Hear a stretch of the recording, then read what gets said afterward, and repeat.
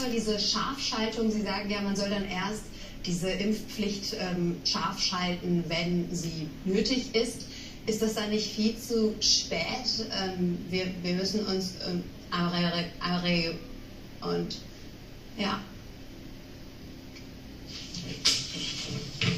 Alles okay? Yeah. Alles okay?